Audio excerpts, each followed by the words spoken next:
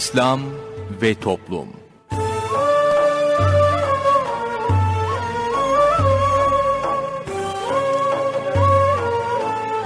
Merhaba sevgili dinleyicilerimiz, yeni bir programla daha sizlerle birlikteyiz. Bugün ana kumanda masasında arkadaşımız İsmail Sert görev yapıyor, ben Mustafa Toköz programı sunuyorum. Programımıza şiirlerle menkıbeleri yayınlayarak başlayacağız. Daha sonra ilahi dinleyeceğiz. İlahinin ardından günlük sohbetimizi paylaşacağız ve sonrasında Hayatım Roman gelecek. Son olarak da sorun söyleyelim de Osman Ünlü hocamızla birlikte olacağız.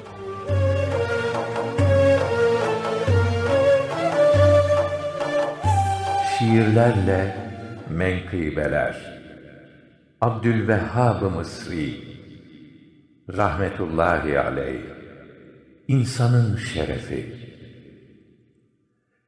Bu zat buyuruyor ki, şudur ki bir Müslüman, elinden ve dilinden kimseye gelmez ziyan.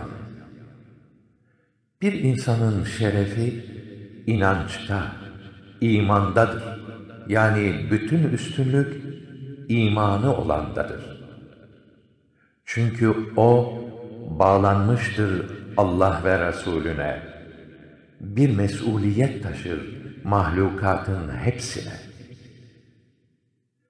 Birine bir fenalık düşünse de o bir farz, kalbindeki o iman mani olur, yaptırmaz.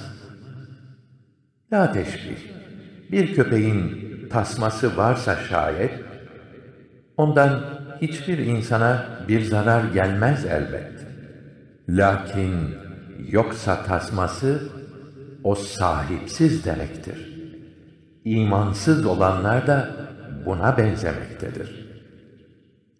Sahipsiz bir köpeğin her an ne yapacağı belli olmaz ne zaman kime saldıracağı. Bunun gibi imanı olmayan kimseler de zarar yapabilirler her insana, her yerde. Halbuki şöyledir ki kamil olan bir mümin, elinden ve dilinden insanlar olur emin. Yine bir sohbetinde buyurdu ki, ins ve cin yaratıldı sadece ibadet etmek için.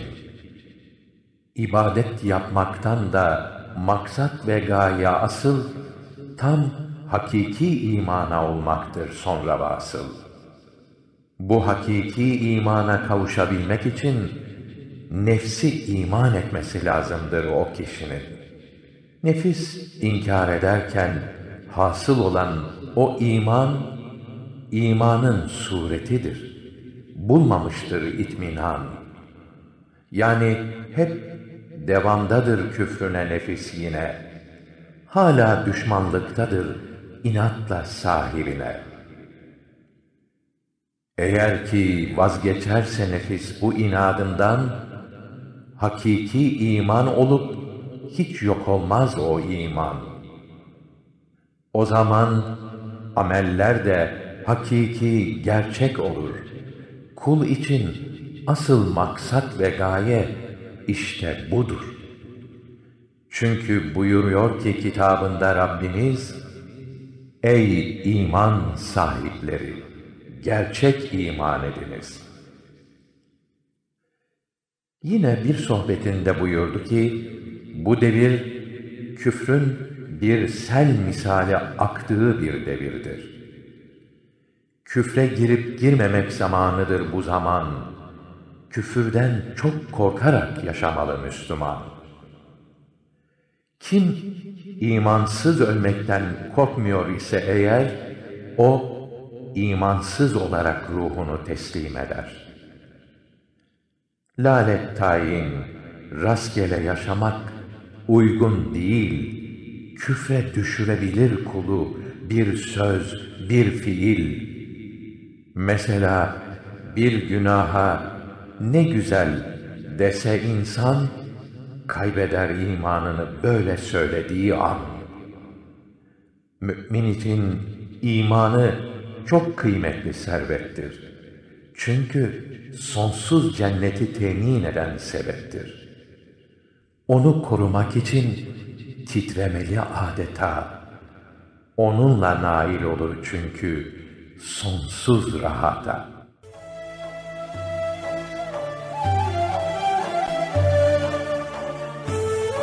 Değerli dinleyenler sırada bugünkü sohbetimiz var. Sohbetimizin başlığı İslamiyeti bilen zararlardan kurtulur. İbadet Allahü Teala'nın varlığını, gönderdiği peygamberini, ahiretteki nimetleri ve azapları tasdik etmekle, inanmakla başlar. Bunlara inanmakla ve ibadetleri yapmakla üç şey hasıl olur. Birincisi, insan şehvetine uymaktan kurtulur, kalp, ruh temizlenir. İkincisi, insanda his organlarıyla hasıl olan bilgilerle ilgisi olmayan başka bilgiler, zevkler hasıl olur. Üçüncüsü, iyilere, nimetler, kötülük yapanlara azap yapılacağı düşünülünce insanlar arasında adalet hasıl olur. Dinini iyi bilen, seven kadın erkek her Müslüman, bütün hareketlerinde İslamiyet'e uyarak hem kendilerine hem de aile, akraba ve bütün mahluklara hayırlı ve faydalı olur. Bunun için dinini iyi bilen ve her hareketi bilgisine uygun olan salih kimselerle görüşmeli, günah işleyen, Allahü Teala'nın emir ve yasaklarına uymayıp, yalnız sözle Müslümanları okşayan, avutan yalancılardan, cahillerden uzak olmalıdır. İslamiyeti, dinini iyi bilen ve ahireti düşünen doğru alimlere sorup öğrenmelidir. İmam Rabbani Hazretleri buyuruyor ki, ehli sünnet alimlerinin anladıkları manalar doğrudur, kıymetlidir. Bunlara uymayanlar kıymetsizdir. Çünkü bu manaları Eshab-ı Kiram'ın ve Selefi Salihinin eserlerini inceleyerek elde etmişlerdir. Kurtuluş yolunu bozuklarından, sapıklarından ayıran onlardır. Onların hidayet ışıkları olmasaydı bizler doğru yolu bulamazdık. Doğruyu bozuk olanlardan ayırmasalardı bizler taşkınlık ve azgınlık uçurumlarına düşerdik. İslamiyeti bozulmaktan koruyan, her yere yayan onların çalışmasıdır. İnsanları kurtuluş yoluna kavuşturan onlardır. Onlara uyan kurtulur, saadete kavuşur. Onların yolundan ayrılan sapıtır, herkesi de saptırır. Bir gayrimüslim Müslüman olursa cehenneme girmekten kurtulur, günahsız temiz bir Müslüman olur. Dünyada bir insanın Müslüman olup olmadığı, zaruret olmadan açık olarak söylediği sözlerinden ve işlerinden anlaşılır. Bu insanın ahirete imanlı gidip gitmediği son nefesinde belli olur. Büyük günah işlemiş olan erkek veya kadın bir Müslüman, tövbe ederse günahları muhakkak affolur. Günahsız, tertemiz olur. İmanı doğru olan bir Müslümanın ibadetinde gevşeklik olursa, tövbe etmese bile affedilebilir. Affedilmese bile azap çektikten sonra cehennemden kurtulur. Dinini bilen, iyi anlayan bir Müslüman, kötü yollara sapmaz ve kötü kimselere de aldanmaz. Dinini bilmediği için aldanan bir kimse, cehennemden kurtulamayacaktır. Ehli sünnet alimlerinin kitaplarından dinini doğru olarak öğrenmeyenler, bid'at ve dalalet sellerine yakalanıp boğulur. Dünya ve ahiret felaketlerine sürüklenirler. Ancak hakkı bilenler bid'at sahiplerine aldanmaktan kurtulur. Hakkı bilmeyenlerin bunların dalalet girdaplarına, tuzaklarına düşmemeleri ise imkansız gibidir. Şunu da unutmamalıdır ki ahirette Allahü Teala'nın rahmetine kavuşabilmek için imanla ölmek lazımdır. Kur'an-ı Kerim'de ve hadis-i şeriflerde açık olarak bildirilenlere uygun imanı olmayan, haramlardan sakınmayan ve İslam'ın beş şartını yapmaya ehemmiyet vermeyen bir kimse rahmete kavuşamaz. Ehli sünnet itikadında olmayana bidat ehli denir. Bunun yaptığı ibadetleri sahih olup borçtan, azabından kurtulursa da vaat edilmiş olan sevaplarına kavuşamaz. Ahirette dünyada yapmış olduğu iyiliklerin hayrat ve hasenatının karşılığına kavuşamayacaktır. Dünyadaki iyiliklerinin karşılıklarına kavuşmak isteyenin hemen tövbe etmesi, imanını düzeltmesi lazımdır. Netice olarak neyin faydalı neyin zararlı olduğunu ayıran İslamiyettir. İnsanlar faydalı sanır, zararlı olabilir. Zararlı sanır, faydalı olabilir. Allahü Teala bildirmeseydi insanlar bilemezdi. İslamiyeti bilen dünyanın zararlarından kurtulur. Ebu Abdullah Maribi Hazretleri buyuruyor ki bir kimse samimi olarak dünyadan yüz çevirir, Allahü Teala'ya yönelirse o kimse dünyanın şerrinden ve afetlerinden sıkıntılarından emin olur.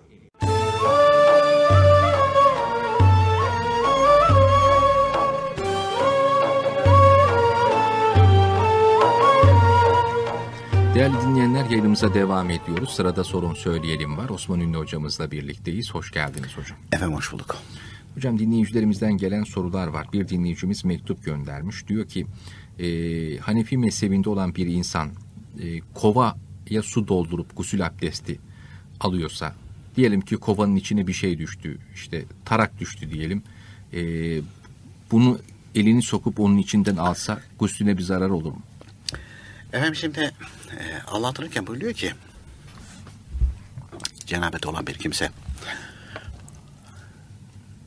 ağzını yıkamadan bir şey yemiş olsa veya içmiş olsa mekruh olur. Ağzını yıkayınca mesela acil e, cünüpken ilaç alması gerekiyorsa vakti gelmişse ağzını yıkar ve ilacını alabilir. Ona izin verilmiştir. Elini yıkadıktan sonra da hani gusül abdesti almadan önce böyle bir durum söz konusu olmuşsa elini kovaya sokarak o şekilde almış olsa o su necis olmaz. Zaten dinleyicimiz onu sormak istiyor. Yani kurtarıyor mu? Evet kurtarıyor. Dinleyicimizin ikinci sorusu şöyle. Eniştemle görüşmek zorunda kalıyorum bazen. İşte bize geliyorlar. Beni görünce de hemen elini uzatıyor tokalaşmak için. Ben kaçmaya çalışıyorum ama bazen de mecbur kalıyorum. Ee, bir de işte tokalaşmayınca da bir sürü laf sayıyorlar. Ee, demiş. Ne yapmam lazım? Çok bilmişler ya. Bazı şeylerde ee, taviz tavizi getirir. Yani taviz verdiğin zaman o arkasında devam eder. Ne olacakmış canım? Ne çıkarmış canım? Bir sen mi biliyorsun canım? O arka arkasına aynı şekilde devam eder. Bir arkadaşım birisi anlatmıştı da e, bu Malatya Maraş'ta mı bir yerde bir hoca efendi varmışmış e, vaktiyle. Hatta oranın müftülüğünü yapıyormuşmuş. Bu e, şeye izin vermezmiş. Hoparlöre izin vermezmiş. Hatta vaaz eder kendisi. Vaazda bile hoparlör kullanmazmış. Hatta bir gün demişler ki evet demişler hani ezanda ve namazda tamam hani anlatıyorsunuz ama demişler bu vaazda kürsüde hoparlör kullansanız olmaz mı? Çok hoşuma gide hoşuma gittiği için naklediyorum. Ee, güzel bir şey söylemiş. Demiş ki bunun nerede duracağı belli olmaz. Bunun nerede duracağı belli olmaz. Yani bugün vaaz kürsüsüne koyduğun zaman bunun nereye kadar gideceğini tahmin edemezsiniz. Bu yarın demiş mihraba da gider. Dolayısıyla e, taviz verince arkası gelir mi? Arkası gelir. Hani bir de e, o tavizle alakalı olarak e, bu hikaye kitaplarında falan anlatılır. E, bazen böyle hayvanların dilinden anlatılır. Şehzade Şirazi Hazretleri de yapıyor bunu. Mevlana Celaleddin Rumi Hazretleri e, bazen bu şekilde böyle hayvanların dilinden anlatıyor.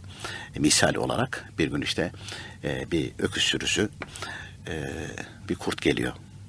Bunlara diyor ki ben diyor açım yiyecek aradım bulamadım. E, dolayısıyla işte diyor bak e, size saldıracağım ama diyor e, sizinle bir anlaşma yapalım. Bu içinizde o sarı öküz var ya hem yaşlı hem hasta. Size de ayak uyduramıyor. Diyor onu saf dışı edin. Ben onu yiyeyim, karnımı doyurayım. Böylece siz de aynı şekilde selamette olun. Bir istişare edelim diyorlar. İstişare ediyorlar. Sarı öküzü feda ediyorlar. Kurt sarı öküzü yiyor. Tabi ertesi sene beyazına geliyor, siyahına geliyor. En son işte kalan öküze gelince artık diyor sıra sende. O öküzün vermiş olduğu cevap. Tabi hayvanların dilinden konuşturuyorlar. Diyor ki sarı öküzü yediğin zaman ben de zaten yenilmiş oldum diyor. Yenilgiyi o zaman biz kabul ettik. Evet. Diyor ki bundan kurtuluş söz konusu değil. Dolayısıyla bir taviz verdiğimiz zaman Allah-u Teala'nın dininden taviz verince ikincisi gelir, üçüncüsü gelir. Bazı şeylerde bazı şeylerde. Ama diyorlar işte güceniyor işte akraba işte canım fitne çıkmasın falan. Bir dakika, bir dakika. adam geldi soysuzun teki çok özür dilerim ama ahlaksızın teki. Diyelim ki göz koydu zina edecek. Fitne çıkmasın diye zina mı etmek lazım? Olur öyle şey ya? Mesela kitaplarda anlatılırken buyuruyor ki Kibir Allah Teala zatının düşman olduğu çok büyük bir günahtır. Çok büyük bir günahtır. Ve İslam ahlakı değildir. Ama onun yanında kibir böyle dinimizde men edildiği gibi zillet de men edilmiştir. O da İslam ahlakı değildir. Kibirli kendini beğendiği için herkesi küçük gördüğü için tepe taklak olur. O kibir onu cehenneme götürür. Zelil olan da zillete düşen de iffetini, namusunu, dinini, imanını koruyamaz. Olmaz o. O da aynı şekilde gider. Tepe taklak olur gider. Bunun ortası tevazu diye anlatılmış kitaplarda. Yani yapısında yaratılırken halim selimdir. Bunu kendi haline bırakırsan zillete düşebilir bu. Birisi asabi yaratılmıştır yaratılırken. Kendi haline bırakırsan kibirli olur. Asabi olarak yaratılan da, halim selim olarak yaratılan da ikisi de ortaya gelecek. Tevazu denen o ahlak ile ahlaklanması lazım. Tevazu denen. Onun için din emirlerini din emirlerini yerine getirirken efendim benim işte eniştemdi, benim akrabamdı, benim de dayımdı, halamdı, bilmem neydi, gücenecekti, mücenecekti. O konuda değil. Gücenirse gücenirse beni ilgilendirmez. Peki ya Rabbimiz gücenmeyecek mi? Niye o tarafı düşünmüyoruz? Niye o tarafa bakmıyoruz? Dayım, eniştem, halam, teyzem neyse beni kurtarabilecek mi? Hayır. Canım herkes böyle yap. Beni ilgilendirmez herkesin ne yaptığı. Herkes kendisini ateşe atıyorsa ben niye atayım? Herkes ahmaklık ediyorsa ben niçin ahmaklık edeyim? O konuda, o konuda dik durması lazım. Kim olursa olsun, kadın erkek. Eğer işte şöyle yapar böyle yapar, hiçbir şey yapamaz. Allahü Teala'nın Allah Teala'nın rızasını koruyan kimse Allah Teala'nın himayesinde olur. Hatta kitaplarda bildiriliyor. Hadis-i şerif olarak naklediyor. Bir kimse ki Allah Teala'nın kadab edeceği işte Allah Teala'nın kadab edeceği işte insanların rızasını gözetirse bu kimse Allah Teala'nın kadab etmesine aldırış etmezse Allah Teala bu kimsenin işini insanlara bırakır. Ama insanların kadab edeceği, kızacağı bir işte Allah Teala'nın rızasını gözetirse bir kimse Allah Teala onu himayesine alır. insanlardan gelecek zararlardan onu muhafaza eder, korur buyuruluyor. Açık net bir şekilde. Açık net bir şekilde. Ha burada insan oturup düşünmesi lazım. Tercihini yapması lazım. Yani nefsine mi uyacaksın? İnsanların hatırı mı? Allah Teala hatırı mı? Onu net bir şekilde ortaya koyman lazım. Yarın mahşer günü diyecektir sen kimden tarafıydın? Seni yemene, içmene, hayatta aynı şekilde kalmana, e, sana rızık veren, sana hayat veren, sana bu vücudu bahşeden, sana akıl veren, irade veren kimdi? Bunun hesabı sorulmayacak mı? Elbette ki soracak. Ha, e, dünyadayken insanların rızasını gözetmişsen, Allah Teala'nın kadab edeceği işte insanların rızasını gözetirsen orada da İslam alimleri buyuruyorlar ki Abdülkadir Geylani Hazretleri'nin kutsusu sözünü bu insanlar bugün över yarın söver. Aa bravo derler. Yani şey yapar. Cem zaten bu adam biz dediydik falan derler. Sırtını dönüverirler. Onun için ta küçüklüğümden itibaren e, büyüklerimiz bize bir şey söylerlerdi. Duvara yaslanma yıkılır. İnsana yaslanma ölür. Kime mi yaslanacaksın peki? Sırtını nereye vereceksin? allah Teala'ya. Eğer bir kimse Allahü Teala'nın rızasını gözetecek olursa insanlardan ve diğer mahlukattan gelecek olan sıkıntıların hepsinden Allah Teala kulunu muhafaza eder. Endişe etmesin. Bir zamanlar bir dinleyicimiz de aynı şekilde e, ailede en küçük kardeş. İşte Allah Teala'nın emrini yerine getirmek için harekete geçiyor falan. Herkes abileri, ablalar neyse hepsi tavır alıyor falan. Dedim aldırış etme sabredersen bir gün gelir iş tersine döner. Nasıl tersine döner dedi. Onlar el pençe durur huzurunda. Abilerin de ablalarında. Aradan zaman geçtikten sonra o dinleyicimiz dedi e, bir gün açmıştı telefon dedi ki hocam dedi sizin dediğiniz çıktı. Hayır dedim benim dediğim değil. Bu kitaplarda böyle yazıyor. Ben buna inanıyorum ve itikad ediyorum. İnandığım için de naklediyorum. Yani sünnet alimleri ne bildirmişse Peygamber Efendimiz'den aleyhissalatü vesselam gelene bildiriyorlar. Doğrusu bu. Cenab-ı Hakk'ın yarattığı e, kanun bu. Mesela kitaplarda anlatılırken buyuruyor ki Yusuf Aleyhisselam e, menkıbesi anlatılıyor. Kardeşleri, abileri en küçüğüydü. Götürdüler kuyuya attılar. Sonra işte rüyasında görülen hadise tahakkuk etti. Hepsi huzurunda secdeye kapandı ee, şeyin e, Yusuf Aleyhisselam'ın. Yani sen sabredersen bir gün gelir işler tersine döner mi? Döner. Onun için Cenab-ı Hak bizi çeşitli şekillerde imtihan eder. Yakın akraba vasıtasıyla şunlar. Ha münakaşa edilmez. Dini böyle emretti falan. Kusura bakma arkadaş. Benim itikadım ve inancım böyledir. Ben seninkini sorgulamıyorum. Sen de benimkini sorgulama. Niye aynı şekilde kalkıyorsun da baskı yapıyorsun ki? Ben Rabbimin emrini yerine getiriyorum. Şimdi piyasada böyle çok. Kendi inancını ortaya koyuyor, kendi fikrini ortaya koyuyor. Ona hayır deyince, aa gördün mü bak benimkini reddediyorsun, bana baskı yapıyorsun. Ne alakası var ya? Bu Allah-u Teala'nın aynı şekilde bildirdiği hükümdür. Ne alakası var? E sen fıskını, fücurluğunu, küfürlüğünü, kafirliğini yapacaksın. On sana ben senin aynı şekilde kafirlerine set koyunca aa bak gördün benim hürriyetime mani. Ne mi hürriyet? Sen benim hürriyetime mani oluyorsun ya. Olur mu öyle şey? Herkes haddini olduğunu bilecek, çizecek, orada bilecek onu. Yoksa öbür türlü, öbür türlü sarı öküzün yenilmesi gibi biz de aynı şekilde başından kaybederiz o işi. Hani dinleyicimiz diyecek ki efendim bir soru sorduk ama bir sürede fırça yedik. Fırça değil bu. Yani doğru şeylerin anlatılmasına vesile oldu. allah Teala razı olsun. Doğrusu budur efendim bunun. Bir başka soru. Ee, daha önce sizden birkaç kere duydum diyor dinleyicimiz. Dişine dolgu yapan bir kimse ilk gusül gerektiğinde Maliki'yi taklit etmeli dediniz. Ben buradan ne anlamak anlamam gerekiyor? Dişimi dolgu yaptıktan 3 yıl sonra ben taklide başladım. Bugüne kadar bu durumda diyor benim ya aldığım abdestler olmadı mı? Evet olmadı. Yani ben bugün gittim. Dişimi doldurttum. Bir hafta sonra da gusül icap eden bir durum oldu. Ne oldu? Mesela diyelim ki erkek ihtilam oldu. Bekarsa. Bir hafta sonra ihtilam oldu. Ne oldu? Gusül abdesti alacak. Orada Maliki'yi taklit edecek. Kadın mesela dişini doldurturdu. E ondan sonra bir hafta sonra hayız zamanı, adet zamanı başladı. Hayız bitince bunun gusül abdesti alması lazım guslün olabilmesi için de Maliki mezhebini taklit etmesi lazım. Şimdi Necmi diyor ben 3 sene sonra diyor bunu öğrendim. Peki 3 sene zarfında e, Maliki mezhebini taklit etmesi lazımdı. Yani ilk gusül gereken halden itibaren Maliki mezhebini taklit etmesi lazım. Peki bugüne kadar aldığı gusüller, aldığı abdestler ve kıldığı namazlar olmadı mı? Hem oldu hem olmadı. Mustafa Bey gözümün içine bakıyor. Gene bilmece gibi oldu. Hem oldu hem olmadı. Nasıl oldu o? Ee, şöyle oldu. Eğer bu kimse Hanefi mezhebinin gusüldeki farzlarını biliyor, sünnetlerini biliyor. Farzlarına ve sünnetlerine uyarak gusül abdesti aldıysa ve e, yine Hanefi mezhebinde abdestin farzlarını, abdestin sünnetlerini biliyor. Bunlara uygun aynı şekilde e, abdest almış ise Hanefi mezhebindeki bir Müslüman kendi mezhebindeki sünnetlerine de farzlarının yanında sünnetlerine de uyarak usul ve abdest almış ise diğer üç mezhebin de farzlarına uymuş olur uymuş olur. Dolayısıyla şimdi geriye doğru döner. Peki namazda namazda zaten problem söz konusu değil. Geriye döner. Ya Rabbi 3 senedir aldığım gusül, aldığım abdestlerin hepsini ben Maliki uyarak aldım.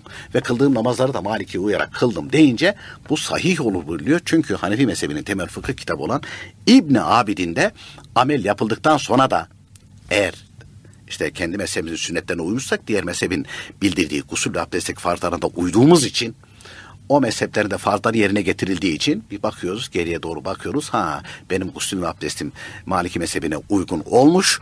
Dolayısıyla geriye doğru yapılan amellerde taklit etmek caizdir buyuruyor İbn Abidin'de. Hatta Hakikat kitabının yayınlamış olduğu İslam ahlak kitabının son bölümünde bu konuyla alakalı geniş bilgi verilmiş ve orada o orada İbn Abidin'den de o nakil orada da yapılmış. Amel yapıldıktan sonra da taklidin caiz olduğu bildirilmiş. Aynı yerden hareketle bir soru daha yöneltelim isterseniz. Şimdi ilk gusül gerektiğinde Maliki'yi taklit etmeli.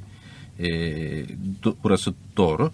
E, peki ben böyle yapmadım. Üç yıl sonra taklide başladım diyor dinleyicimiz. Bundan sonraki gusül ve abdestlerim yani ilk gusül gerektiğinde e, yapmadığım için kabul olmaz mı? Ha öncekiler. Bundan sonrakiler. Yani Nasıl ilk, kabul olur hocam? Yok. İlk gusül gerekli. enteresan bir yere dikkat çek. O ayrı. E şimdi şöyle söyleyeyim mesela. Diyelim ki adam içki içiyordu. İçki içiyordu. E ondan sonra Cenab-ı Hak hidayet nasip etti. Tövbe etti. Tövbe etti. E ben tövbe ettim şimdi acaba bundan sonra falan filan. Yok olmaz o. Yani gusül e, e, ilk gusül icap eden bir durum. Hatta e, zaten gusül icap etti aldığı gusüller Maliki mezhebine uymadığı için hemen bunu öğrenir öğrenmez gusül abdesti alır. Hemen alır. Dolayısıyla bundan sonrakilerin hepsi sahihtir, doğrudur. Bir başka dinleyicimizin şöyle bir sorusu var. Güneş ay tutulması niye dinimizde kötüye yoruluyor? Tam tersi. Tam onu, tersi. Onu nereden çıkardı ki? Nereden çıkardıysa hiç alakası yok. Hatta Peygamber Efendimiz Aleyhisselatü Vesselam'ın ee, işte oğlu Hazreti İbrahim vefat edince ya güneş veya da ay tutulması söz konusu oldu. İşte hani Peygamber Efendimizin yasına güneş veya ay iştirak ettiği mealinde bir şey hayır buyuruyorlar. O allah Teala yarattığı bir sistemdir, mahluktur. Netice itibariyle onlar Cenab-ı Hakk'ın yarattığı sistem içerisinde e, ne şekilde hareket edilmesi lazım gelse o şekilde hareket ediyorlar. Ve bunlar e, hareket ederken güneş, ay e, ve dünya aynı hizaya geldikleri zaman işte birisinin arasına ay girdiği zaman veyahut da dünya girdiği zaman ay tutulması, güneş tutulması neyse onlar zuhur eder. Birbirlerinin ışığını kesiyorlar yani. Birbirlerinin ışığını kesiyorlar. Dolayısıyla bu kimse için yaz tutmaz buyuruyorlar bunlar. Ve e, güneş tutulması anında veyahut da aynı şekilde ay tutulması anında işte çok felaket gelecek, böyle şey olacak. Din kitaplarında böyle bir şey yazmadığı gibi, yazılmadığı gibi. Güneş tutulması da hatta güneş tutulması namazı var. Yani allah Teala'nın alametlerinden birisidir diye. Orada Cenab-ı Hakk'a şükür var. Yani Cenab-ı Hakk'ın gücü, kudreti yani sonsuzluğu karşısında insan acizliğini ortaya koyuyor. Yoksa yani belki de dinleyicimiz e, tabii bu yapılan yanlışlıkları İslamiyet'e fatura ediliyor, fatura ediyorlar. Evet. Kimi yerde mesela davul çalıyorlar, kimi yerde tenike çalıyorlar falan filan. O putperestten geçme bir şeydir. İslamiyet'te hiç alakası yok. İslamiyet'te güneşin, ayın tutulması veyahut da yıldızların kayması hadisesi e, onlar e, kötü, kötüye yorumlamamış, yorumlanmamış ve bunlardan da kötü neticeler çıkar diye hiçbir İslam alimi de öyle bir şey bildirmemiştir. Peki efendim çok teşekkür ediyoruz vermiş olduğunuz bilgilerden dolayı. Biz teşekkür ederiz efendim. Sevgili dinleyicilerimiz bugün de programımızın sonuna geldik. Yarın yine aynı saatte buluşmak ümidiyle hoşçakalınız.